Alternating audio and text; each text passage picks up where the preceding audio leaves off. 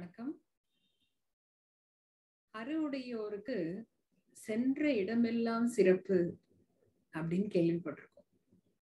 நல்ல அறிஞர்களா இருந்தாங்க அப்படின்னா அவங்க எங்க இருந்தாலும் எந்த நிலைமையில இருந்தாலும் அவங்களுக்கு ஒரு சிறப்பு கிடைக்கும். ஏன்னா அவங்களோட அறிவாற்றல் அவங்களோட பேச்சு திறமை அவங்க பேசக்கூடிய விஷயங்கள் பேசும் விதம் எல்லாரும் மதிக்கக்கூடியதாக இருக்கும். ஸோ அவங்க எங்க போனாலும் எந்த நிலைமையில இருந்தாலும் அவங்களுக்கு மதிப்புங்கிறது தானா கிடைக்கும்.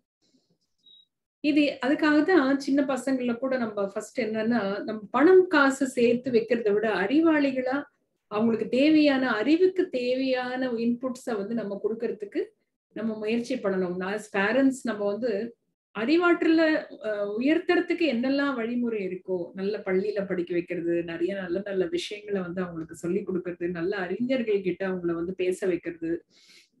அந்த அறிவு திறனை வளர்க்கறதுக்கு நம்ம வந்து நம்மளோட டைம் அண்ட் மணியை வந்து இன்வெஸ்ட் பண்ணோம் அப்படின்னு சொன்னா அந்த குழந்தைங்களுக்கு வந்து பெருசா நம்ம சொத்து சேர்த்து வைக்கல அப்படின்னாலும் எங்க போனாலும் அவங்களுக்கு ஒரு நல்ல ஒரு மதிப்பும் மரியாதையும் அவங்களுக்கு ஒரு ஒரு தானா தன் காலில் நிற்கக்கூடிய ஒரு சக்தியும் அவங்களுக்கு கிடைக்கும்.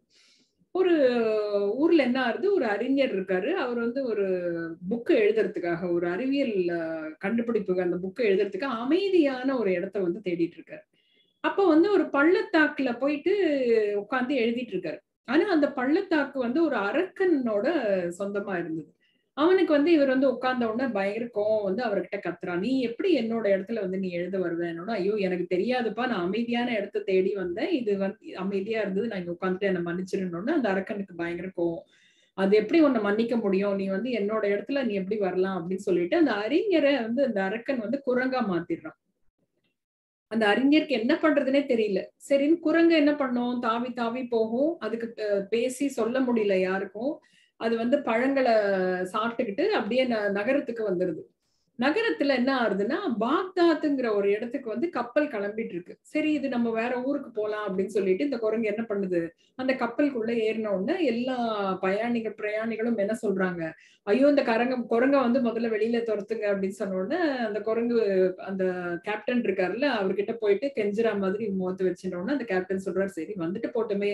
நமக்கு அது ஒண்ணும் தொல்லை கொடுக்காது அப்படின்னு சொல்லிட்டு அந்த குரங்குக்கு சப்போர்ட்டா சொன்ன உடனே குரங்குக்கு ஒரே சந்தோஷம். அந்த டிராவல் மொத்தம் வந்து அது எந்த பிரச்சனையும் பண்ணாம அமைதியா வந்தது. அந்த நகரத்துக்கு வந்த உடனே எல்லாரும் பேசிக்கிறாங்க. இந்த மாதிரி இந்த அரண்மனையில அரசருக்கு ஆலோசகரா இரு இருந்தவர் வந்து இறந்துட்டாராம். அதனால வந்து ஒரு ஆலோசகரை வந்து அர அரசர் வந்து தேடிக்கிட்டு இருக்காரு. அதுக்கான அறிக்கையை விட்டிருக்காரு. யார் அதுக்கு தகுந்த தகுந்த மாதிரியான தகுதியோட இருக்காங்களோ அவங்க வந்து அரண்மனைக்கு போயிட்டு அரசர்கிட்ட நேரம் பேசலாம் அப்படின்னு சொன்னோன்னா அந்த கர குரங்கு வந்து போகுது.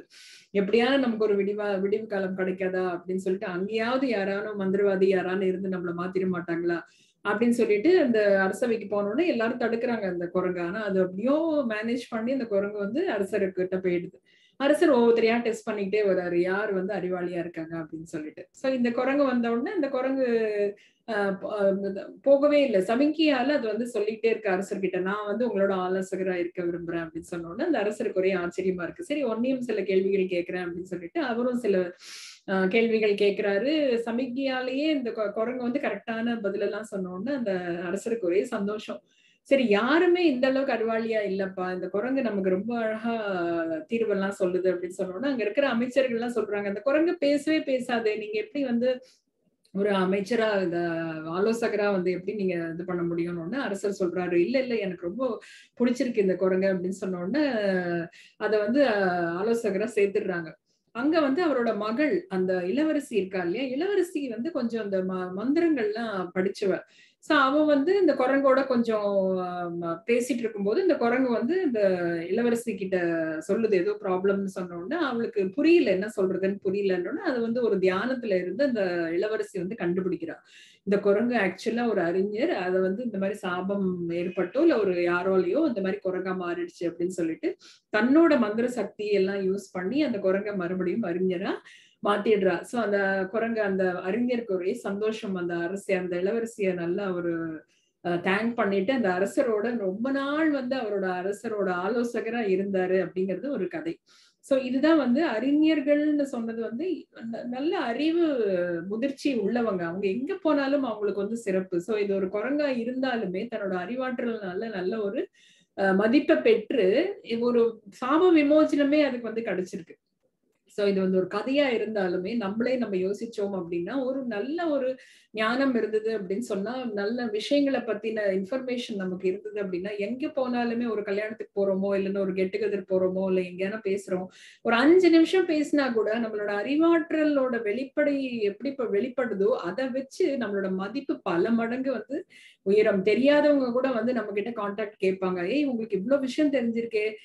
உங்க கான்டாக்ட் டீட்டெயில்ஸ் சொல்லுங்க. நாங்க வேற எதுக்கான வேணும்னா உங்களை கான்டாக்ட் பண்றோம் அப்படின்ற மாதிரி. சோ அந்த ரெஸ்பெக்ட்ங்கிறது பணம் பதவி மட்டுமே கிடையாது. உங்களோட நாலேஜ் ஸோ உங்களோட நாலேஜை இம்ப்ரூவ் பண்ணோம் அப்படின்னு சொன்னா நம்மளுமே தினம் தினம் நம்மளோட நாலேஜை வந்து டெய்லி என்ன நடக்குது அப்படிங்கறத அறிஞ்சுக்கிட்டு டெய்லி டெய்லி இம்ப்ரூவ் பண்ணிக்கிட்டே இருக்கணும். ஒரு ஒரு நாளும் நம்ம படிச்சுக்கிட்டே இருக்கணும். ஏன்னா அது வந்து கடல் மாதிரி அறிவுங்கிறது வந்து எல்லாரும் எனக்கு எல்லாம் தெரியும்னு சொல்லவே முடியாது. இது வந்து நம்ம படிக்க படிக்க படிக்க படிக்க வந்துகிட்டே இருக்கும். ஸோ அந்த மாதிரி நம்ம அறிவாற்றல அதிகப்படுத்திக்கிட்டே இருந்தோம் அப்படின்னு சொன்னோம்னா எங்க யார்கிட்ட போய் நம்ம இருந்தாலுமே நமக்கு வந்து பயங்கரமான ஒரு மரியாதை கிடைக்கும். அதே மாதிரி நம்ம ஒரு பெற்றோரா இருந்தோம்னா நம்ம குழந்தைகளையுமே அவங்களுக்கு வேணுங்கிற பொருட்களை வாங்கி கொடுக்கறதுல காசு செலவழிக்கிறதையும் காட்டிலும் நம்ம அவங்களுக்கு அறிவு வளர்க்கறதுக்குரிய சில விஷயங்களை நம்ம பண்ணினோம் அப்படின்னா அவங்களுக்கு அதுக்கு தகுந்த மாதிரியான புக்ஸோ இல்லைன்னா அவங்களுக்கு நாலேஜ் அண்ட் ஸ்கில்ஸ் டெவலப் பண்றதுக்கு ஏதான வழிமுறையோ இல்லை ஒர்க் ஷாப்போ ஒரு ஹேண்ட்ஸ் ஆன் எக்ஸ்பீரியன்ஸோ இல்லை அந்த மாதிரியான பீப்புள் அவங்க கிட்ட ஒரு வாரம் ஒரு தடவை வந்து ஒரு அறிஞர்கிட்ட அவங்கள அழைச்சிட்டு போய் அந்த குழந்தைங்களை பேச வைக்கலாம்.